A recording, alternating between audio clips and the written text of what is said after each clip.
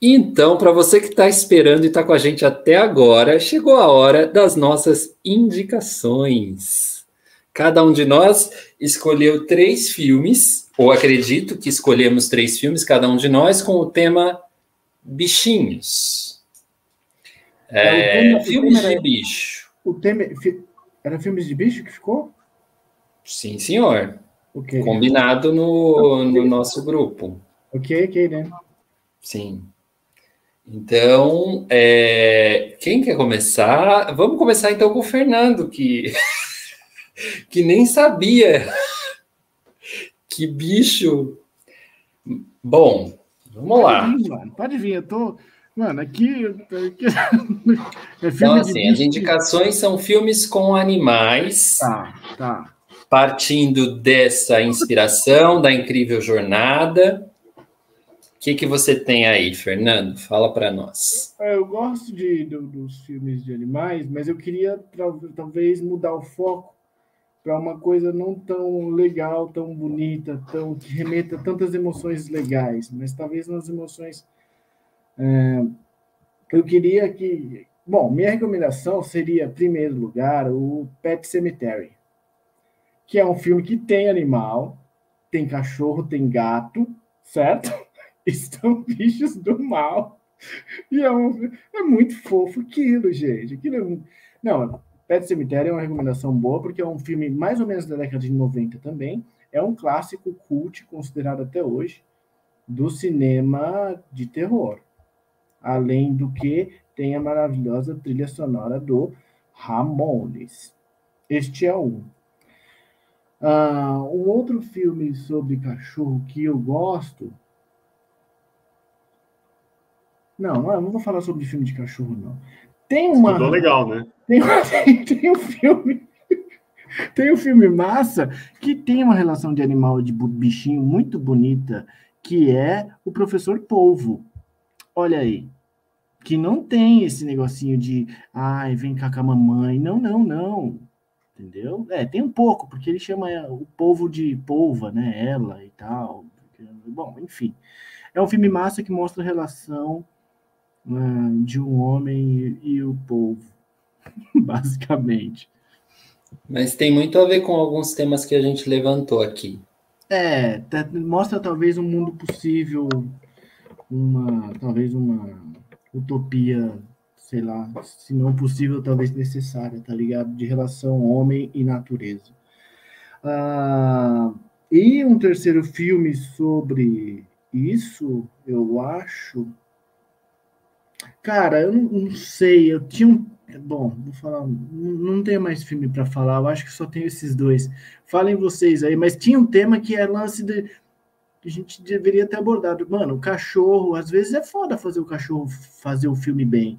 Teve uma polêmica com aquele Quatro Vidas de um Cachorro que foi muito grave, porque o cachorro foi zoado para fazer o filme, tá ligado? Então é outro ponto que a gente. Bom, mas enfim, é, minhas recomendações seriam Pet Cemetery e Professor Povo.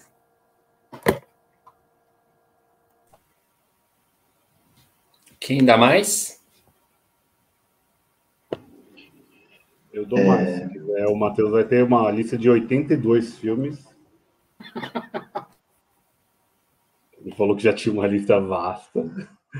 Muito boa recomendação do professor Povo. Estava aqui na minha também. Ele Fê. Gosto muito desse documentário. É, filmes de animaizinhos ou animaisões. Eu vou ficar com o Jurassic Park, que eu acho muito louco. É, Mas um, dois, o, ah, o primeiro, o primeiro. Já tenho até o quinto, né? Vai sair o sexto, acho que esse ano. É assim, todos são interessantes que tem uma, uma cronologia lógica e tudo mais, mas o primeiro eu acho muito bom. Eu revi recentemente até Caetano Pirou, inclusive. É, tá estudando, né, na escolinha, já começou a ver essa porcaria de que a gente nunca usa para nada. De, é, Jurássico, mas é. não é que decora os nomes, é ridículo. Puta, né? eles gostam pra cacete. Nossa, eu não, eu não lembro de nada, absolutamente nada. Até porque eu nunca usei para nada. É, mas eu acho muito foda, o filme é muito legal, fala muito dessa parte ética, né? Com os animais, de do cuidado e por aí vai. Eu acho que é um bom filme para isso. Um outro que eu quero falar, que o Leandro até falou do porco, é Okja. Okja do ah, Bong Joon-ho. Já, é, tá na Netflix. né? é, desse coreano maravilhoso, que, do Parasita, mesmo diretor do Parasita, que ela cuida de um porcão gigante, né? E daí fala muito das corporações, desse agronegócio, que o agro é pop, mas é pop é porra nenhuma. É, muito legal, muito legal, são super porcos para alimentar as populações, e ela cria um laço afetivo com essa super porca, porca, sei lá eu, que é a Oxia. Então é muito legal, é muito, muito, muito legal esse filme, gosto muito. E o terceiro que foge um pouquinho, é uma lógica meio maluca, que é o Lagosta. É, que é um filme que a lógica é as pessoas que não se relacionam vão virar uns animais quando morrem. E daí aquela pessoa maravilhosa escolheu um, um animal sugênero que era a lagosta, né? O lagosta. E é um filmaço, eu acho um filme puta, mind blowing, assim, puta, é, um, é um negócio malucaço, incômodo e eu acho muito bom. Então, Cara, você colocou, colocou o sarrafo lá em cima. Cada vez que você falava, o Leandro ficava assim, tipo, ah, beleza, beleza, beleza. Eu adorei ver a sua lista, uma listaça mesmo. Hoje não vai dar para mim, não, Fê. Hoje. Ainda o Matheus vai falar, o Matheus já citou o Truffaut. Nossa, Matheus. Eu acho que da próxima vez eu vou primeiro, porque aí. Nossa, o Matheus colocou logo o Truffaut junto com Fala, Matheus, quais são os seus filmes aí de, de bicho? Oh, legal, eu acho.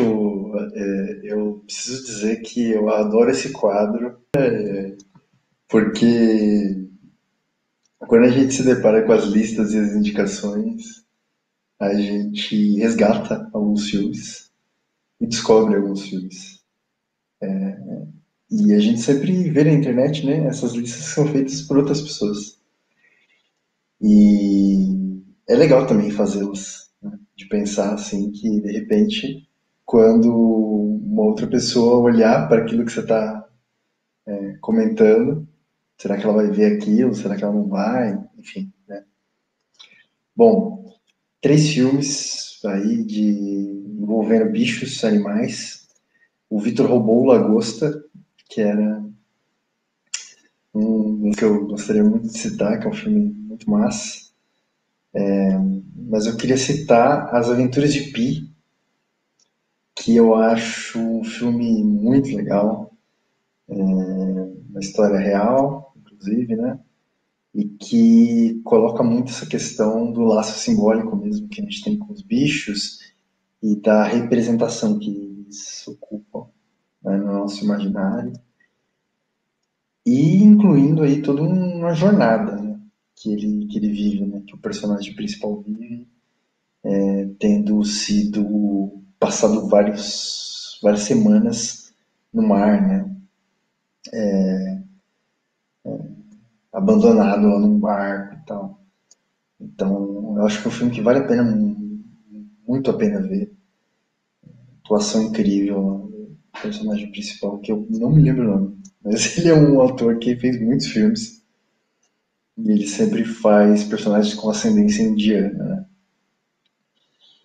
Um, além disso, citar um também enigmático para mim, filme que eu preciso rever, é, que me marcou bastante, que é sobre meninos e lobos. Clint Eastwood, né? Um, filmaço. Eu acho que, inclusive, a gente é, poderia comentá-lo aí em algum momento. E para encerrar aí, já que são só três, vou dar uma avacalhada aqui. vou dar uma avacalhada forte e citar um filme que há uns anos atrás, em alguns é, circuitos aí foi considerado o pior filme do mundo, que é o Sharknado, né? Que é um filme que Matheus, você tinha uma lista de 40 filmes, você escolheu Sharknado, velho. Eu ia colocar Tubarões, o Jaws no meu, mas eu falei, ah, eu vou zoar muito. O Matheus colocou Sharknado, mandou muito bem, Matheus. Não, mas o, o Sharknado é, é, é que assim, é, eu gosto de ecletismo, né? E o Sharknado é, uma, é um nível de tosqueira, assim. É porque você imagina, né? É um tornado, né? é tipo um maremoto de tubarões, né? É um enredo assim muito, muito emblemático. Né? E você falou que era um dos piores filmes do mundo, eu já tava esperando Centopeia Humana, velho. Eu já tava achando que ia ser pior ainda. É... E, e, e, e pô, com certeza, né? Tubarão é classicaço, né? E eu acho muito interessante a interpretação do Slavoj Zizek, que tem naquele filme lá do Zizek o Cinema, né? No documentário, que ele interpreta o tubarão como uma crítica ao capitalismo. Um negócio assim. É, é muito interessante, cara. Isso no Sharknado? Não, não, não, desculpa, eu fiz um. No Jaws. Um, um, um salto, assim. No, no tubarão, no Jaws do, é, do Steven Spielberg. Isso, né? isso, isso. É, enfim, é isso. Não vou citar mais, não. Ah, posso citar se vocês, se vocês querem. Vai, não, deixa o Leandro falar que eu quero ver como é que ele vai falar agora, o que, que ele vai conseguir falar agora depois da gente, mano. De, depois de Truffaut e Zizek. Vamos lá. Então, primeiro que eu vou citar é, é um filme que eu gosto muito e que foi tão hit, era um hit da locadora dos anos 90. O filme que você ia na locadora e nunca estava lá. Ace Ventura, Um Maluco na África. Que tem. Eu, eu tô citando o Maluco na África porque era o hit, né? Mas tem a série do Ace Ventura, tem o primeiro, que é o Detetive. É, também é muito bom. Eu acho o trabalho dos animais assim mais legal no Detetive. Uhum. Mas o Maluco na África é um filme que me traz muita lembrança de, de coisas que a gente ria que todo mundo ria. E porque era um filme que você ia na locadora, nunca estava lá. Você tinha que pegar a fila para ver o, o Ace Ventura. O Jim Carrey é um comediante maravilhoso, né? Incrível aquele homem, o que ele faz com uma comédia física, né? Ele tem, ele tem todos os atributos mesmo. E eu acho que é um ponto alto dele, assim, na comédia é o Ace Ventura. Um personagem que acompanhou a gente nos anos 90. Então, vale a pena ver. O, o segundo, eu vou citar. Taranja que eu penso também. Vou citar um brasileiro. Vidas Secas, do Nelson Pereira dos Santos. Porque ali tem. Tem as, as, aquelas, aquelas cenas. Aquela cena é é impressionante. E tem muito a ver com isso que a gente falou dos animais, dessa relação de que eles dão a vida pela gente, né? Quem leu o, o romance é, sabe, e quem viu o filme, o filme não fica nada aquém. É um dos, dos maiores filmes brasileiros já produzidos, um dos mais bonitos, seguramente. É um filme de 63, mas até hoje, se você vê, ele é atualíssimo as atuações em cima, é porque eu revi essa semana, assim, para e foi muito bom rever o filme. Um filme uh, que traz toda a dureza e o árido que, que existe ali na, na seca, né? Não é um filme fácil de ver, mas mostra um Brasil, denuncia um, um, um Brasil que também se aproveita da tragédia, né? E a gente vê que essa lógica vai se reproduzindo muda a tragédia, mas o humano ali parece que tem os mesmos comportamentos, né? E a baleia, ela é fortíssima no filme, que é a, a cadela do, do menino mais novo e do menino mais velho. Olê, você sabe dessa informação? Falaram que na época que a, o filme concorreu, a Cadela Baleia ganhou um prêmio de melhor atuação. Isso é fato ou é fake? Ela pode ter ganhado, porque, porque os americanos fazem isso, né? Eles dão prêmios honorários para algum, alguns animais, estão, estão assim numa, vamos dizer assim, num, numa constelação lá das estrelas do cinema. Hum. Eles receberam prêmios honorários de academia. E se você olhar o letreiro do filme, ela aparece junto com o elenco. É. Eles colocam ela como uma atriz, né? Ou tão importante quanto. Aquela coisa de, de equalização, né? Das espécies. Uhum. Porque ela é muito importante no filme. Ela é muito importante no filme. E, e a cadela atua. Atua. Então, e é muito difícil trabalhar com animais no set, né? Você pode perguntar para qualquer diretor de cinema aí o quão isso é difícil. E o terceiro, eu vou falar um que é para. Os bichos mexem a boca, tá? Já vou falar. Mas eu acho que vale pela, pela tentativa do cinema de de trazer também um grande clássico para o cinema. Não é uma adaptação tão boa quanto o Vidas Secas, do Graciliano Ramos, que o Nelson Pereira dos Santos fez lá brilhantemente, mas é a Revolução dos Bichos, de 99, que é, que é baseado no livro, né, um dos maiores clássicos da literatura mundial, do George Orwell, e que é interessante, é interessante para, acho que para trazer para um universo mais juvenil esse essa, essa ideia de revolução dos bichos, para eles verem os bichos ali naquela revolução e naquele entender um pouco daquele sistema. E quem sabe aproximar aí o pessoal da literatura. Esses três, Vidas Secas, é, Ace Ventura e A Revolução dos Bichos. Muito bom. Muito bom, muito bom. Posso fazer os créditos? Faça. Não, não, não, não, não são esses créditos. Os créditos aqui eu queria, eu queria trazer uma, algumas menções honrosas aqui. É, porque é o seguinte, né? Lá atrás, olha que legal, né? Filmes loucos, assim, nesse, nessa linha, nesse tema. King Kong, classicão, né? Antiquíssimo. Uh, putz, bárbaro, né? E com mil versões, mil propostas. E um dos meus queridinhos aí também, que é o Planeta dos Macacos. Eu adoro. É, é, curiosamente, eu era adolescente, só via filmes comerciais e eu decidi, por algum motivo, ver todos os seis filmes antigos dos Planetas dos Macacos. E esse tipo de experiência eu acho que nos muda de alguma forma. E até hoje eu gosto bastante. É, dos mais cults, é, talvez, né? a gente consegue citar dois que eu acho assim bagulhos assim realmente loucura, assim. loucura total.